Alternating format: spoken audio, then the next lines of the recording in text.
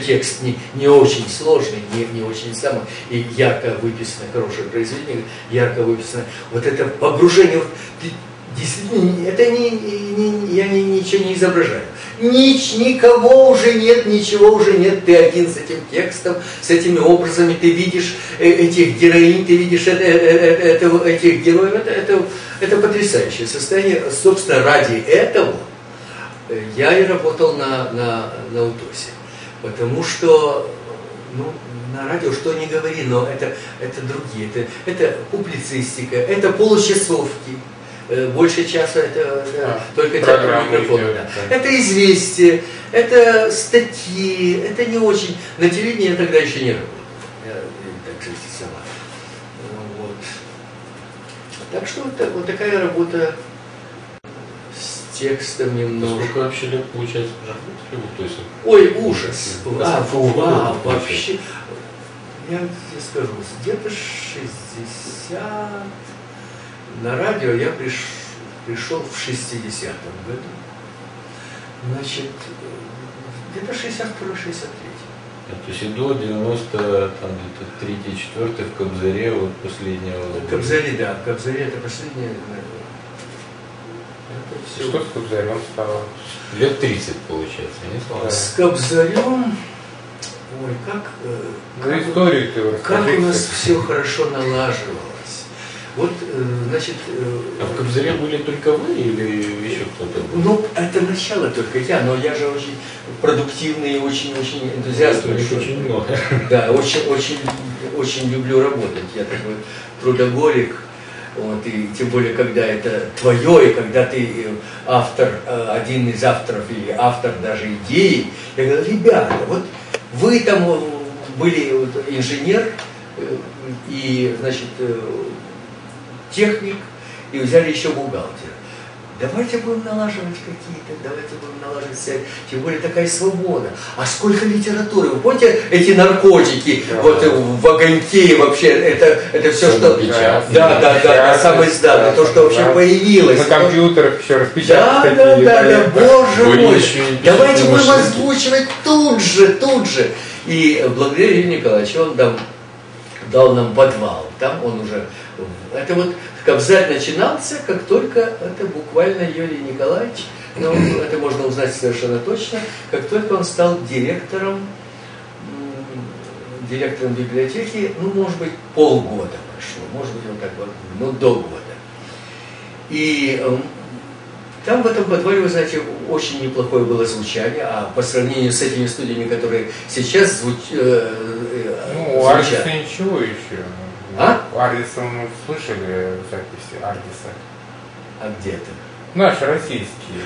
Я, вот, я, ж, я ж слаб. Я, мы, мы оторваны уже друг от друга. Немножко оторваны, поэтому я отдельные только вещи могу, могу какие-то судить. Я знаю, что у нас это неблагополучно. Вот, и знаю, что по сравнению сейчас с телевизионными студиями, ну там, там можно их простить, потому что там же изображение. И поэтому они говорят, звук, ладно, бог с ним уже, это, это будет уже без звука. Так э, студия, которая Кобзарь была, которая благодаря Юрию Николаевичу мы, так сказать, э, организовали, это, это была очень хорошая студия, потому что она очень, очень прилично, очень хорошо звучала.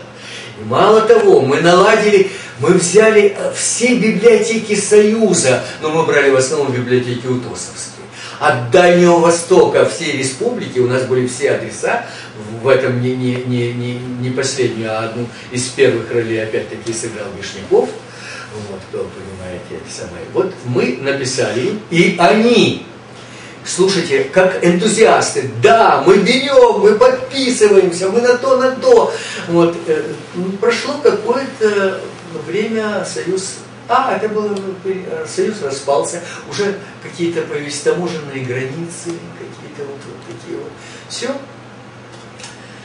Кобзарь погорел. Потом мы последнее, что сделали еще с Кобзарем, это мы писали украинскую литературу, такую, тогда же тоже новая волна, новая волна энтузиазма была возрождение национального, и мы писали украинскую историю, которая появилась, вот зарубежные канадские самые, канадские, украинские, там вот, вот такие вот вещи.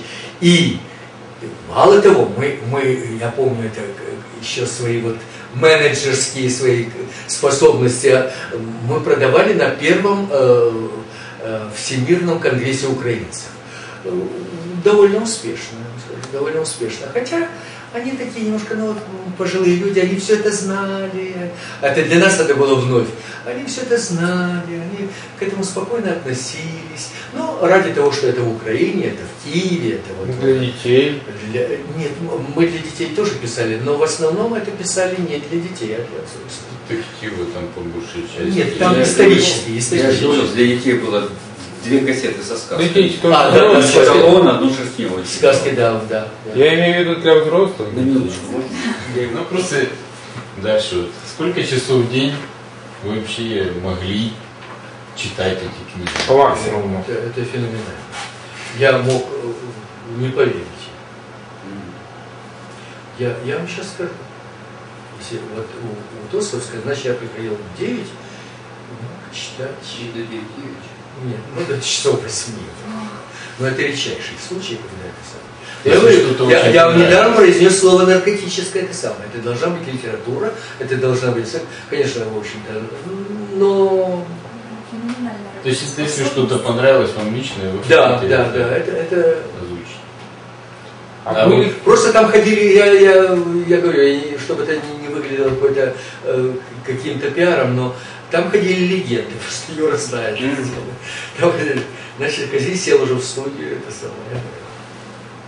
А были книги, которые вам просто вы не могли читать, то есть по качеству, по содержимому прям отвергали? Нет, таких, э, я не знаю, ну, трудно сказать, но это жизнь, это то, что сейчас тоже мне противно озвучивать какие-то какие фильмы, я их озвучиваю, потому что у нас дикторы а отказываются там... некоторые. Нет, ну что за отказ? Ну тогда была такая ситуация. Ты хочешь прочитать хорошую книгу? Прочитай две плохие. Прочитать, да, да. Вот это советский подход, да.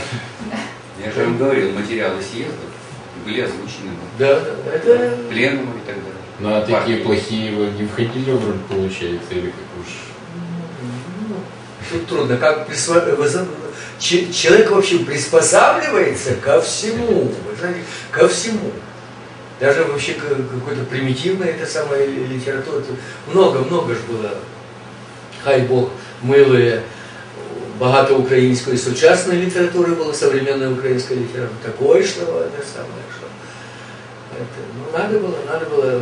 А помогают ли вам навыки чтеца в жизни? То есть вот там Нет. был вопрос такой, там ухмырять женщин, там еще что-нибудь такое. В жизни вообще, вы знаете, это, это, ну, я не знаю, может быть, в принципе, в принципе, помогает общаться. Но mm-hmm. иногда, когда ты устаешь и приходишь, вот я прихожу на радио после колоссального твоего 6-8 часов самое, что ты меня спрашиваешь, что ты сказал? Слушай, ты кем работаешь? Вот, ты, ты диктором работаешь или кем? То есть ты, ты не в состоянии уже, это самое худшее и самое благо, когда ты можешь не артикулируешь, не артикулируешь, просто нормально. Юр, ты знаешь, это, это нормально. Все, все время. И не потому, что артикуляция это что-то искусство. Нет. Я не перевариваю ни на радио, ни где, где кстати, когда искусственная артикуляция, это так слышно, это когда, в общем-то, человек искусственно артикулирует, произносит каждый звук, то, то есть в, в этом плане и должна быть какая-то золотая середина, понимаешь, когда все четко и все не вычурно.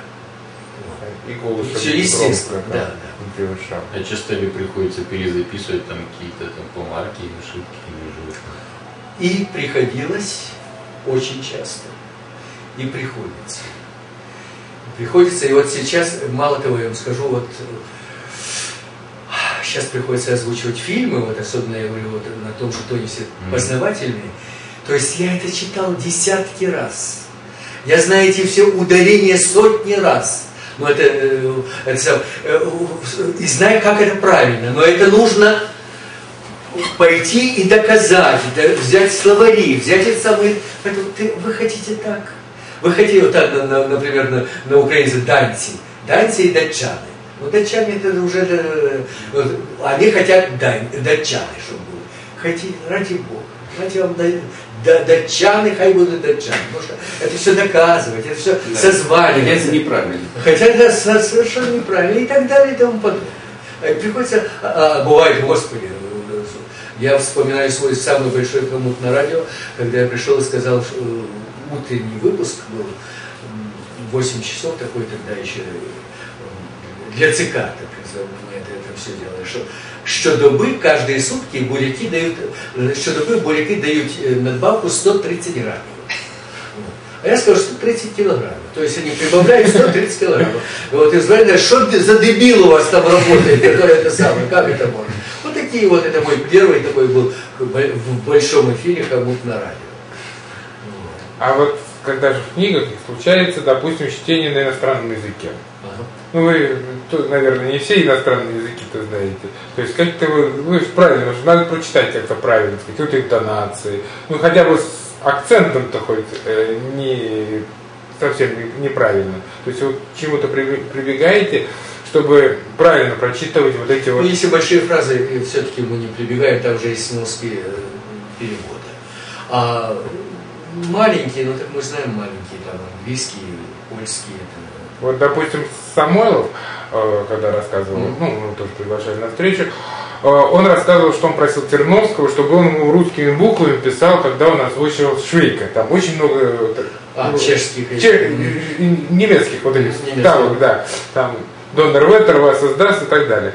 И вот, э, значит, он, ему Терновский русскими буквами писал, где какие ударения надо ставить. Потому что, говорит, я, говорит, англичанин, я не знаю по-немецки. Если я скажу что-нибудь, это потом смеяться люди будут. Вот. Э, Поэтому я вот э, ин- интересно, вы-то вот тоже как-то... Ну, по-моему, я переводил только, только в переводе. Можно с каким-то легким там чуть-чуть намеком, только намеком на какой-то акцент, но, но- но- но только Вот, продолжая тему, с кем вообще из э, чтецов вы знакомы там и поддержите связи? Украинскими, московскими, с русскими? московскими. Понимаете, у нас были связи только с Всесоюзным радио. Такие настоящие, такие какие-то связи, поэтому, так сказать, ну, А с ВОСом получается не сильно Нет, сложно. нет. С УСом мы, к сожалению, к сожалению, так что- Вот. У нас с ВОСом связь только через Вишнякова. Только он все делал.